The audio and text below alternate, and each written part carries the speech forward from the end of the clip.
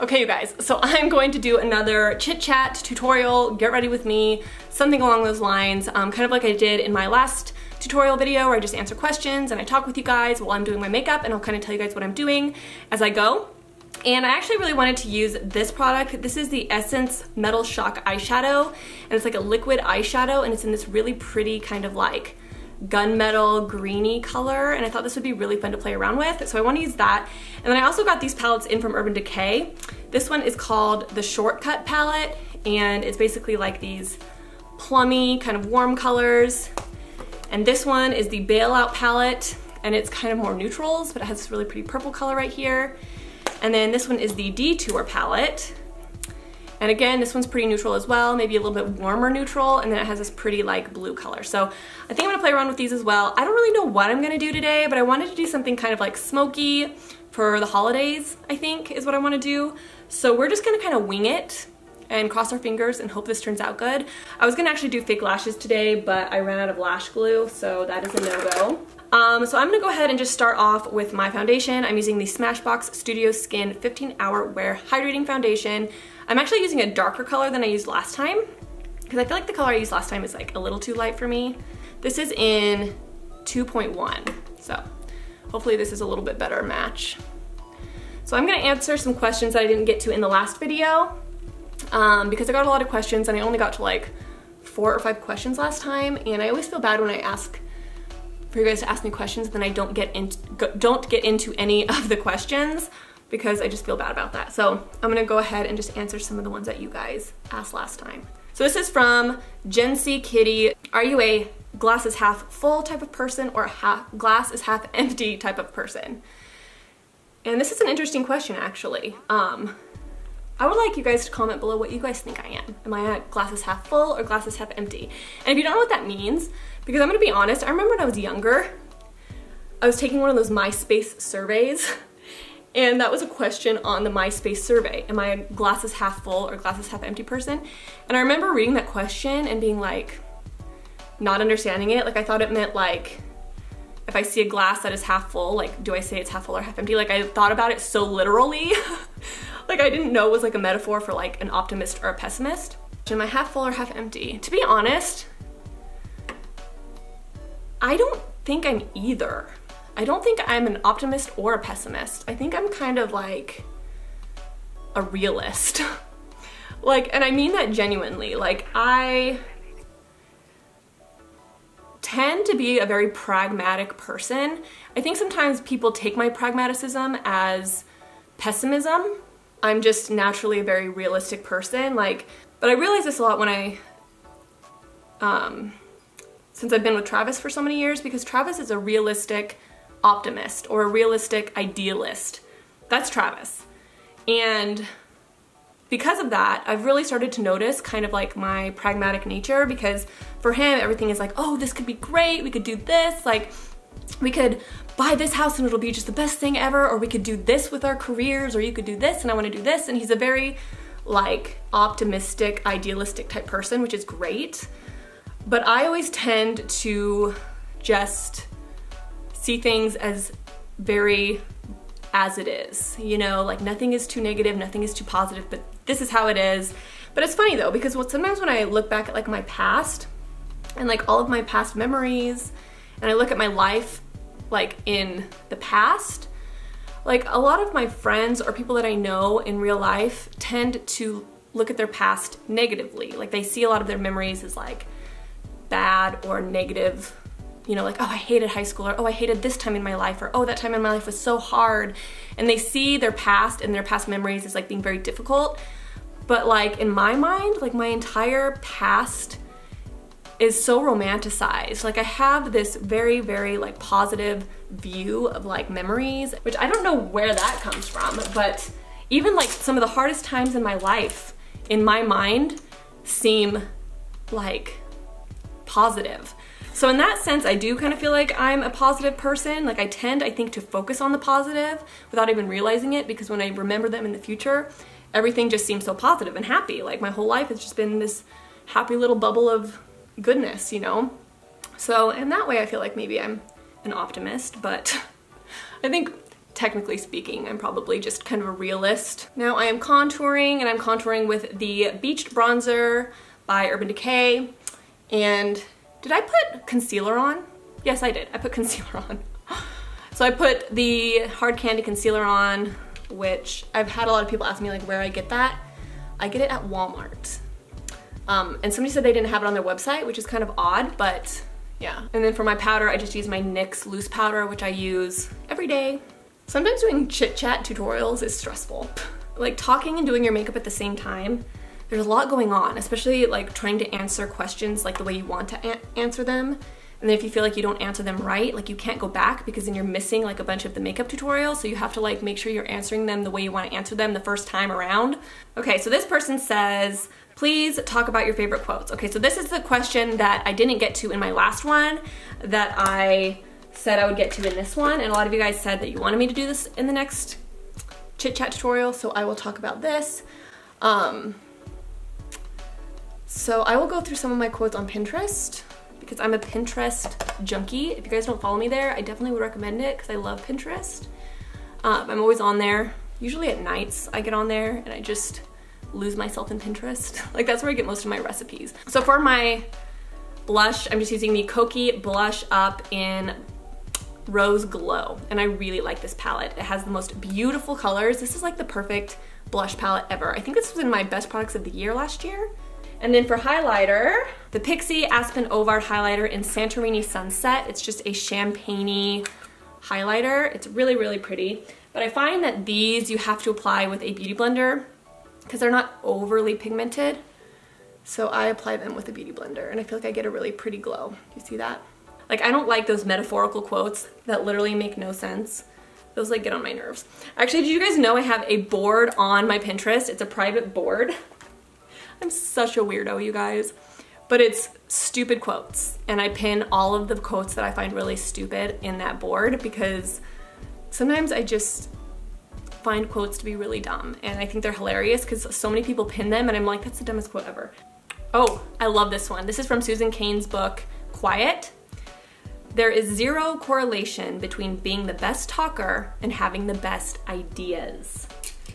That is one of my favorite quotes. I love it because um, I think that that's something that a lot of quiet people feel they lack. Like they feel like people don't know them, don't know their deepest thoughts, don't know their deepest ideas or feelings on things because they just don't, they're unable to voice their ideas well or they're just scared to or they're shy. Um, and just because somebody doesn't voice their opinions or don't share, you know, what they think and things like that, their ideas does not mean that they don't have good ideas. It's just they're more closed off and quiet about it. And I think that this is really important, not just for people that are extroverts to think about, but also people that are natural introverts. And sometimes they feel like, you know, they're misunderstood because they don't talk a lot. Um, I know I've been in that place where I feel like I'm highly misunderstood. In fact, this is one of my biggest pet peeves in life is feeling misunderstood. I really hate that feeling of people not knowing the real me but I feel like it's the story of my life. Like, because I'm not a huge talker, um, people don't understand who I am as a person sometimes, and that really bothers me. Um, so I think that this quote is really interesting. By the way, I'm using this palette. This is the Bailout palette. I'm using kind of these two colors for my blender shade. Oh, I love this quote. This might come across as like really mean, but I really like this quote. The problem with the world is that intelligent people are full of doubts and the stupid ones are full of confidence. Just think about that for a little bit. I know that's kind of harsh. There's nothing I love more than a person that doubts, a person that is skeptical, a person that just likes to talk and come up with new ideas and just kind of go against the grain when it comes to ideas and theories. Like that's my favorite type of person. And I feel like there's a different type of intelligence with somebody like that because they're not afraid to question and I love people like that because they see the world in a very different way. It's those people that have like an answer to every issue. You know what I mean? Those people that just have an answer and that answer is the right answer and that is it, period. Like there's no sense of questioning or doubt or anything. Ooh, this one, I love this one. This one is amazing. A lot of bad things are going to happen to you. First off, you are going to die.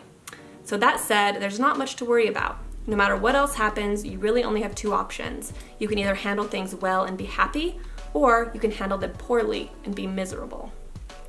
I think that that is the best, most truest quote of all time. Like, I think that people, like, don't understand that concept. Like, it's literally a choice on how you handle a situation. Like, it's true. You can have, like, horrible things happen to you, but you can either choose to handle it well and live your life content, or you can choose to deal with the bad things that happen to you bad and be miserable.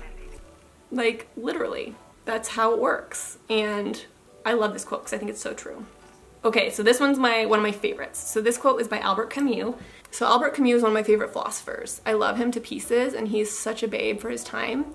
You will never be happy if you continue to search for what happiness consists of. You will never live if you are looking for the meaning of life.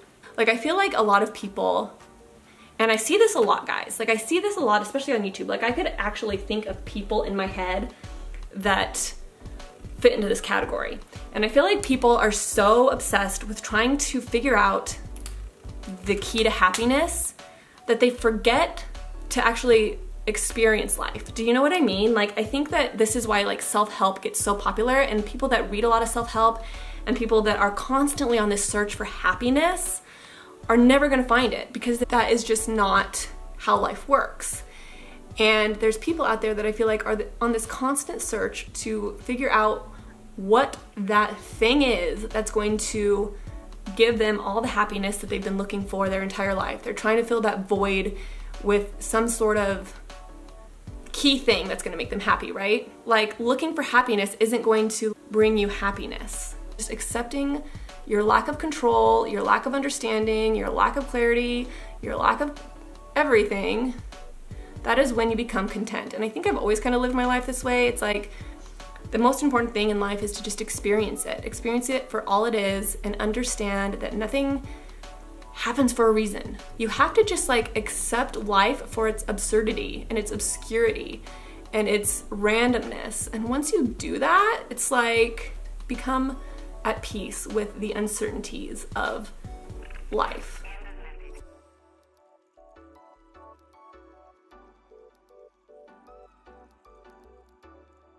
And I think that there's a difference between happiness and contentment, and people need to realize that contentment is just kind of like acceptance. And that's why I don't really like self-help books, because I do think that it's just a bunch of people trying to give desperate people answers, but there is no answer.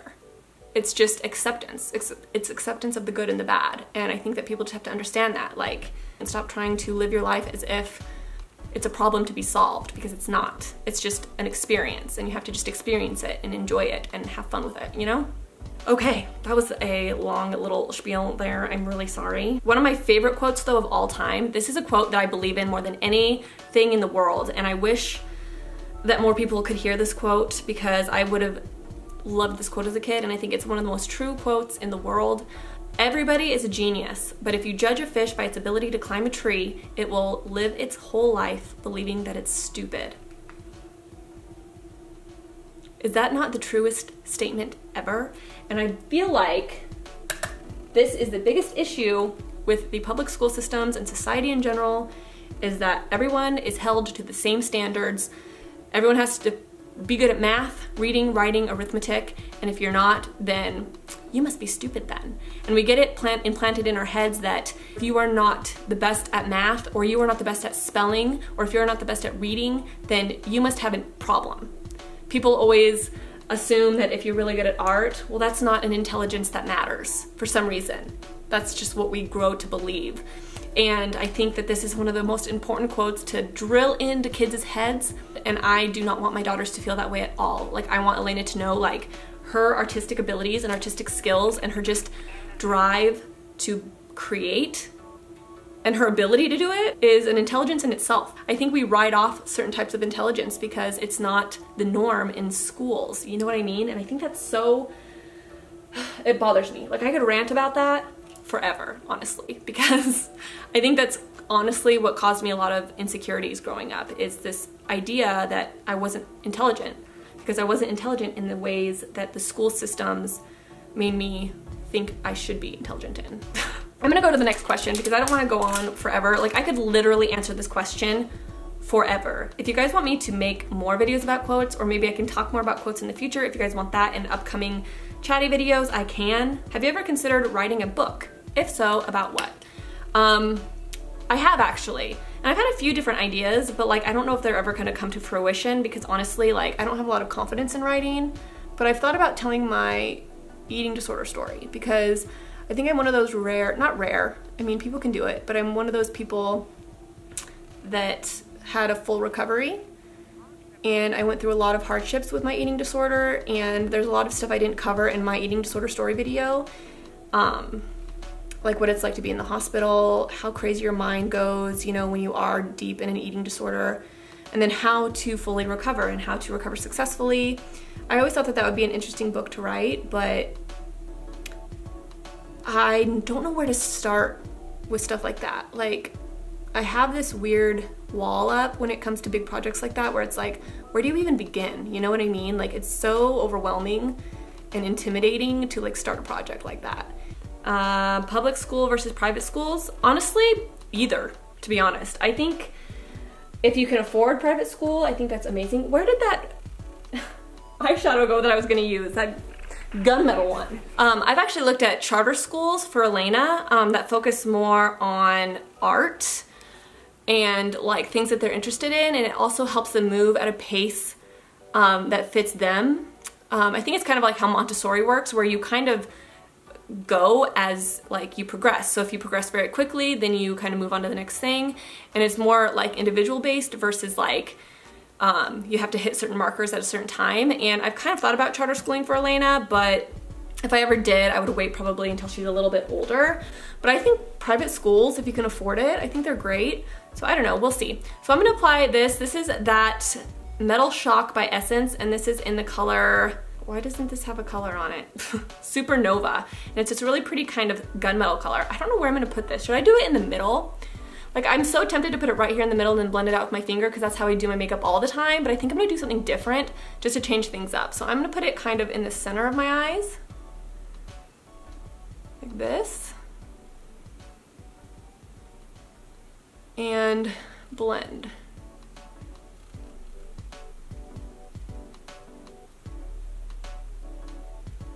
I actually don't use liquid eyeshadows like this often because um, they just feel weird to me, like putting liquid on. I don't know, I just feel like it's gonna like ruin my makeup. But we're gonna go with it. Then I'm gonna blend it out with my finger. Okay, so then I'm gonna take that same other color. Where is it? Bailout palette. I was using Rebound right here, right there for the lid. I'm just gonna take that same color and just kind of like blend it into that glitter. So we get a nice blend. What is your stance on marijuana? Um, I think marijuana is fine. Um, I think that there's a lot of benefits to marijuana, like medical benefits. I think it can help a lot of different ailments. Um, and I don't have a problem with marijuana. Uh, to be honest, I think it's less harmful than alcohol a lot of times. But I do think that, you know, it needs to be used in balance just like any drug, just like alcohol. Just I think it's definitely something that you can get addicted to or use too often because people do use drugs like alcohol and marijuana as an escape from real life and I think that's harmful but I don't think that marijuana is any more dangerous than like alcohol. Um, you know, have I smoked? Yes, but it's like not my favorite thing to do. Like I don't find it to be needed really in my life. I don't know, I just don't find marijuana to be that exciting but I'm gonna put a little bit on my lower lash line right here in the middle, just for fun, because why not? I'm gonna blend it. I'm gonna use just this Aspyn Ovard highlighter and a paintbrush because I use paintbrushes for my makeup sometimes. and I'm gonna put that in the inner corner. And that kind of, I feel like just blends everything together kind of. I'm not 100% sure how I feel about this makeup look, to be honest, so far. I always feel this way, and then once I get my eyeliner on, I'm always like completely happy with it. It's the eyeliner that like makes a huge difference. So I'm gonna go into this. This is the Rose palette by Bare Minerals, and I'm gonna go into this Stargazer color because it's like a dark kind of charcoal. I'm gonna put that right here in the outer corner because I feel like the inner part is darker and that just looks weird. like I said, guys, I am just like playing around with this look. I'm not actually like knowing what I'm doing, but sometimes I feel like it's kind of fun to watch like a beauty person just like make up a look as they go. They don't go into it with like a plan. because that's like the fun part about makeup, you know what I mean? It's just like experimenting, so. Sometimes I feel like I need to get in the habit of doing my face makeup after I do my eye makeup, but I can't do it. Like I can't get into that habit. Like there's something about doing my eye makeup when my face makeup isn't done yet that drives me crazy. Like I feel like I can't get the full effect of what the eyes look like. And it's so hard for me to do my eye makeup before my face makeup, but I know that it's so much better because of fallout and stuff and it would look better, but I just can't do it. I need to wait and do my mascara for my eyeliner to dry. This eyeliner, is it even? I'm gonna do my lipstick. Now I could either do a neutral color or I could do something a little bit darker or I could mix them together. I'm a lip mixer. A lot of times people ask me like, what lip color are you wearing? But it's like a mixture of two colors a lot of times. But I like to do dark and then light over the top because I kind of feel like it gives a really subtle, nice gradient. And I also like doing a little bit of dark because I can shape my lips better.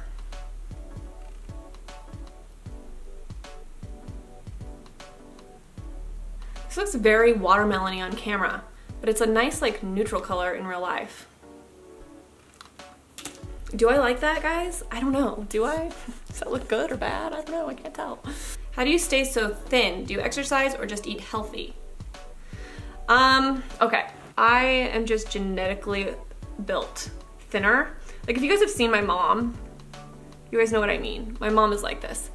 Um, we just have those genes. Like it's really hard for me to kind of like gain weight and I don't think I overeat necessarily. I just kind of like eat like a normal amount of food, but I can eat kind of whatever I want. I think it's just genetics. I don't work out. I do want to work out because just because you look a certain way on the outside doesn't mean that you're healthy on the inside. And I do want to start working out. In fact, it's probably one of my 2019 goals. I was working out for a while. I was doing those like videos on YouTube that I was talking about. I can't remember what they're called now off the top of my head. Um, but my cousin told me about them and I was doing them for a while, but I want to get in the habit of doing them again. Fitness Blender, that's what it is, Fitness Blender. And they're like really short, quick videos that do not last very long at all. And they really do work you out. And I like to do those every day, maybe like one or two of the videos. And it's quick, you feel like you're getting a good workout and you get sore afterwards, but they're fast because I don't like working out forever. Like I just don't like working out in general. So those fitness blender videos are great, especially the shorter ones. And I really do want to work out a little bit, make my body stronger. Um, because as a mom, I feel like sometimes like you neglect yourself. And I definitely do neglect myself when it comes to fitness and like what's healthy for me. Because, you know, you're constantly focusing on other people. But I do want to be a healthier person. You know, Travis works out a lot. He does a lot of basketball and he's a very healthy person, but but I do feel like those fitness blender videos do do wonders and they're really, really easy and they're really fast and they do work because I'm always sore after I do them. So I don't like this lip color. I'm gonna change it. I'll be right back. Is that better? That's better. It's a little on the pinky side, but I feel like I like that better. And I'm also going to curl my lashes one more time because I'm a weirdo. This is the final look, guys. I hope you guys liked it. Do you guys like this look? I actually really like this product. I think it's actually pretty awesome. It was a little bit hard to blend out, I'm not gonna lie, like to try to get a good gradient there, but I do think that the color's really pretty and it has a lot of glitter in it, but it's also very just like smoky and subtle, like you're not getting like this bright pop of glitter. Like I feel like it's a pretty wearable color, so I'm kind of into this. I think it's a pretty fun product. Um, I kind of want to play with it maybe a little bit more or maybe buy a couple other colors. This is the Metal Shock eyeshadows by Essence. So yeah, I think they're pretty cool. Kind of fun to play with. So I hope you guys like this look, kind of like a glam holiday inspired look, something a little more dramatic, smoky for like a holiday party. This would look really cool with like a little black dress or something along those lines. So I hope you guys like this. Sorry I got a little deep with the topics of conversation today, but I just tend to do that when I do these like get ready with me chatty things. I hope you guys don't mind it. Sometimes I wish I could get to more questions and like answer them quicker, but I have a hard time with that, especially if we're talking like quotes or philosophy or life or anything like that. Like I just can literally just like talk forever. But anyways, I hope you guys liked it and I hope you guys like this tutorial, this makeup look, and I will talk to you guys in my next video. Let me know if you guys like these little chatty tutorials. I think they're kind of fun to do and they're a little bit more fun than maybe just like your basic music professional looking tutorial. So anyways, I'll talk to you guys soon and I hope you have a fabulous day. Bye!